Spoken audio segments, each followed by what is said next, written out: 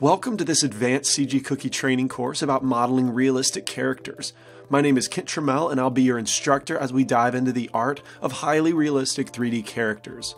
This advanced level curriculum started as a workshop, so it's organized into six weeks of video lessons with a weekly exercise. In week one, the goal is simply to wake up the sculptor inside and get comfortable with sculpting in Blender. Week two, we start in on our character by focusing on human anatomy. Week 3 is all about blocking in the accessories that make our character more than a naked body. Things like clothing, hair, armor, etc. By week 4, it's time to turn our 75% completed character sculpture into a bona fide, animation friendly model.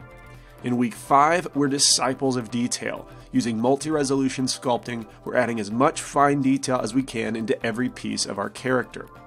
And finally, week six, we're making our model its prettiest as we focus on presentation. If you apply yourself each week, by the end you'll have a highly detailed, realistic character to be proud of.